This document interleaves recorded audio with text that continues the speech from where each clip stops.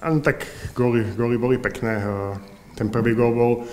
bol z hranice vápna. Mm, my sme ho zbytočne nehali vojsť úplne blízko. Celý týždeň sme sa pripravovali na to, že Liberec zakončuje z väčších vzdialeností a nehali sme ho prejsť a on to trafil pekne, akože ten gól bol,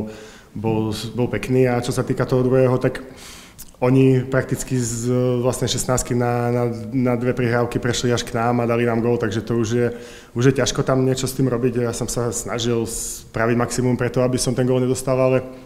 bohužiaľ vošlo to do brány.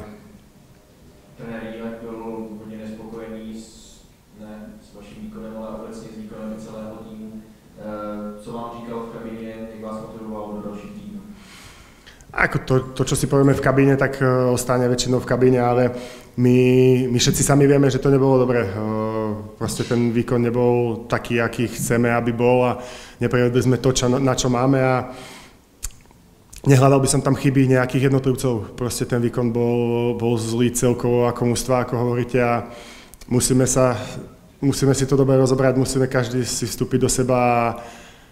a začať asi troška ináč, lebo ak chceme hrať o, o tú Európu, o čom sa tu celý čas bavíme, tak, tak to určite nepôjde. Je tam ešte jeden skvělý zákrok eh,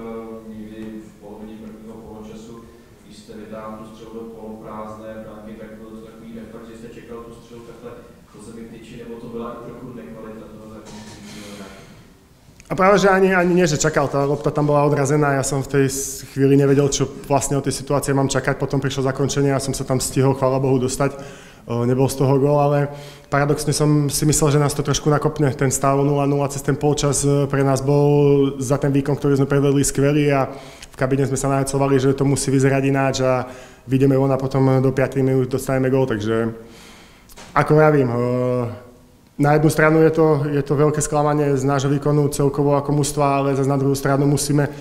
musíme v tom nájsť aj nejaké tie pozitívne veci. Musíme si každý sám pozrieť, na čom sa máme zlepšovať, aby to ďalší zápas sa neopakovalo. Aby sme ten domáci zápas zvládli a nakopli sa znova na tú víťaznú vlnu.